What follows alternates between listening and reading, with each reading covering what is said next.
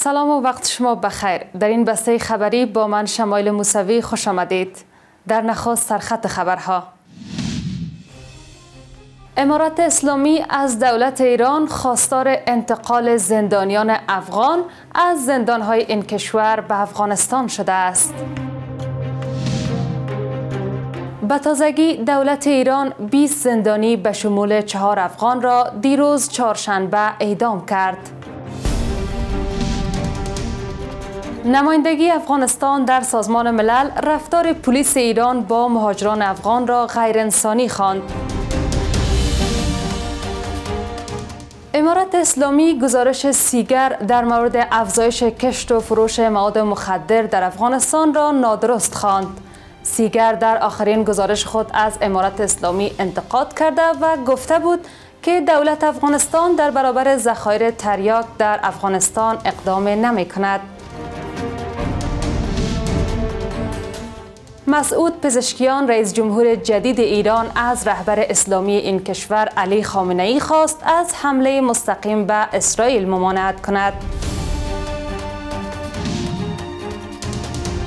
پس از فرار شیخ حسینه نخست وزیر بنگلادش محمد یونس برنده جایزه نوبل و چهره موفق سرمایه گذاری های کوچک به عنوان صدر اعظم نو بنگلادش تعیین شد. مشروع خبرها امارت اسلامی از دولت ایران خواستار انتقال زندانیان افغان از زندانهای این کشور به افغانستان شده است.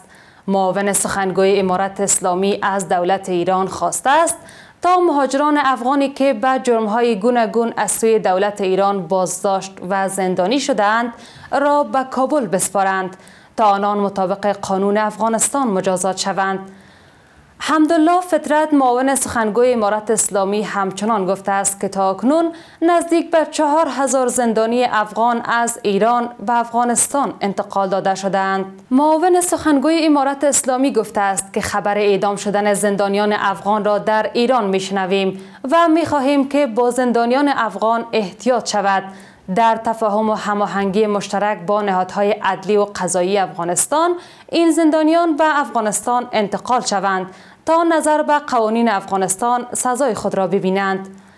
گفتنی است پیش از این وزارت مهاجران و عودت کنندگان گفته بود که در حال حاضر نزدیک به هفت هزار مهاجر افغان در زندانهای ایران به سر می‌برند. این در حال است که به تازگی سازمان حقوق بشری ایران در گزارش گفته است که در هفت ماه نخست سال جاری میلادی 300 تن در ایران اعدام شدند که از این میان 20 تن آنان از شهروندان افغانستان بودند. در ادامه بازداشت مهاجران افغان در ایران به تازگی دهها مهاجر افغان در شهریار تهران بازداشت شدند. خبرگزاری مهر یکی از رسانه های ایرانی گزارش داده است که دست کم 46 مهاجر افغان بدون مدرک قانونی در شهریار تهران جمعآوری و به اردوگاه اسکرآباد منتقل شدند. ولسوال شهریار گفته است که افغانهای بدون مدارک اقامت قانونی به کشورشان بازگردانده می شوند در حالی که علیرضا فاتح نژاد روز چهارشنبه گفت که طرح ضربتی جمعآوری مهاجران غیر قانونی در این شهر آغاز شده است. او در جلسه با مسئولان ایرانی در تهران بر بازگردانده شدن افغانهای بدون مدارک قانونی به کشورشان توسط اجرای این طرح ضربتی تاکید کرد. طبق گزارش این خبرگزاری 46 نفر روز چهارشنبه از شهر شهریار تهران به اردوگاه اسکرآباد منتقل شدند. خبرگزاری تصنیم روز چهارشنبه هفته اسد گزارش داد که در این جلسه مسئولان اداره کل امور اتباع و مهاجران خارجی ولایت تهران نیز حضور داشتند. در هفته های پسین فشار نیروهای امنیتی جمهوری اسلامی و شماری از شهروندان ایران بر مهاجران افغان افزایش یافته است. اخیرا حملات بیشمار مردم به مهاجران افغان نیز گزارش شده است. دولت ایران 20 زندانی به شمول چهار افغان را دیروز چهارشنبه اعدام کرد. یک سازمان حقوق بشری در ایران روز چهارشنبه اعلام کرد که حکم اعدام 20 زندانی به شمول چهار زندانی افغان در زندان قزلحصار کرج به اجرا درآمده است. این افراد به های مختلف از جمله جرایم مواد مخدر، قتل عمد و تجاوز اعدام شدند.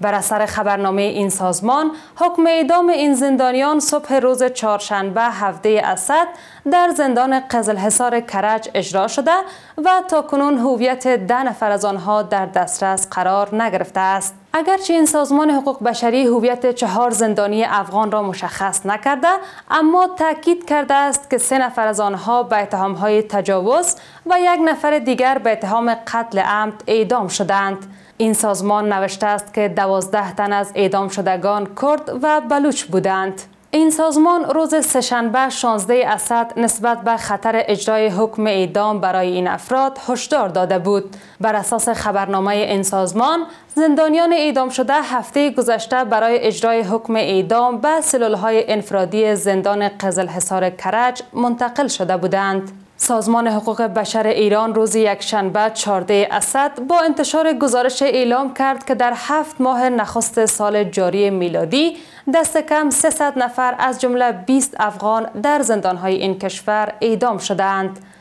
همچنان این سازمان حقوق بشری به تازگی با انتشار یافته های خود اعلام کرد که در هفت ماه گذشته دست کم 25 زندانی افغان در زندانهای جمهوری اسلامی اعدام شدند. نمایندگی افغانستان در سازمان ملل رفتار پلیس ایران با مهاجران افغان را غیر انسانی خواند. سرپرست نمایندگی افغانستان در سازمان ملل رفتار پلیس ایران با مهاجران افغان را مغایر با اصول و میارهای پذیرفته شده جهانی و قوانین مهاجرت خواند. نصیر احمد فائق تاکید کرد که شکنجه نوجوانان افغان توسط پلیس در شهرستان دماند ایران یک عمل غیر انسانی و غیر اسلامی است. پیشتر ویدیویی در صفحات اجتماعی دست به دست می شد که نشان می دهد یک نوجوان 15 ساله افغان به نام سید مهدی به دلیل شکنجه توسط پلیس ایران آسیب دیده و گردنش شکسته است.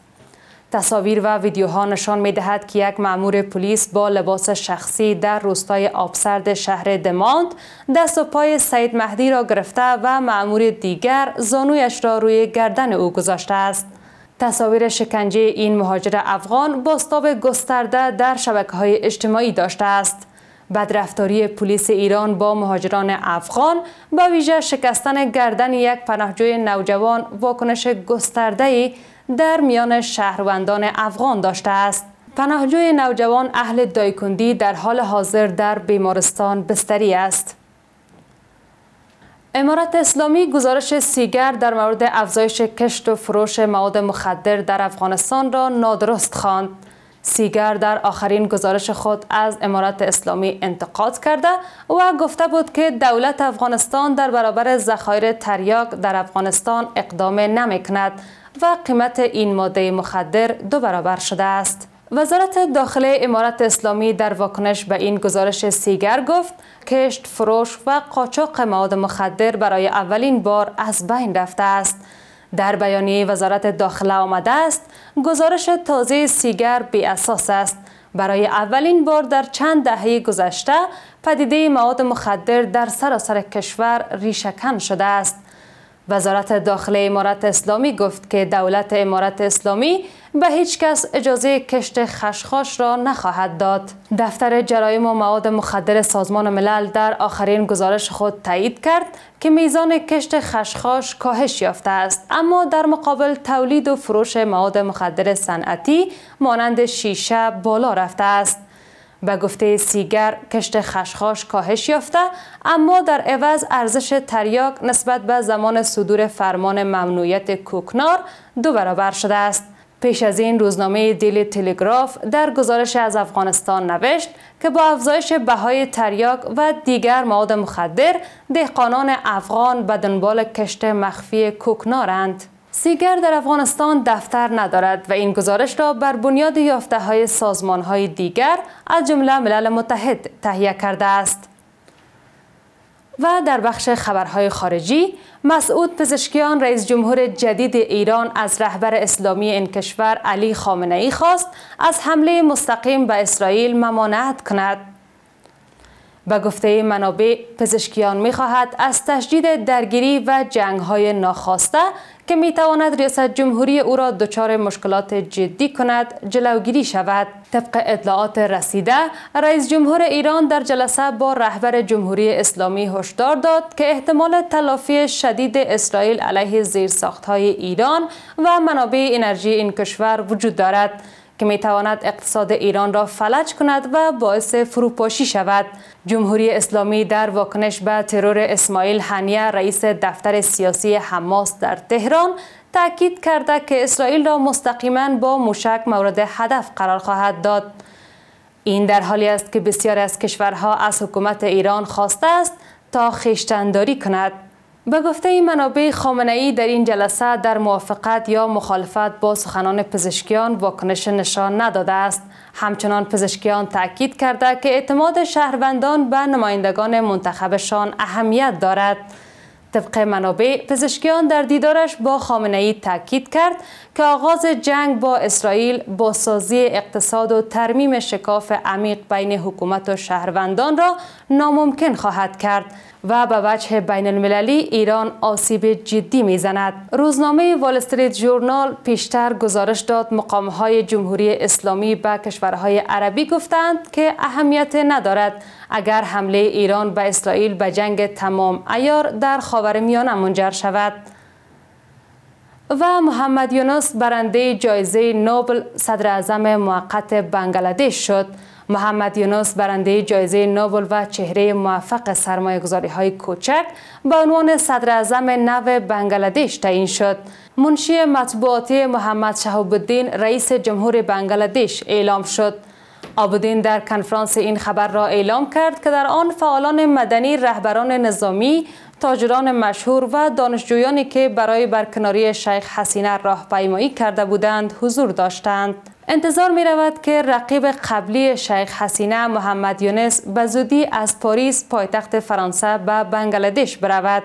گفتنی از شیخ حسینه واجد نخست وزیر بنگلادش روز دوشنبه از کاخ رئیس جمهوری بنگلادش فرار کرد و برخی منابع محلی از استعفای وی و خروج او از بنگلادش خبر دادند. سپاس از همراهیتان. وقت بر شما خوش.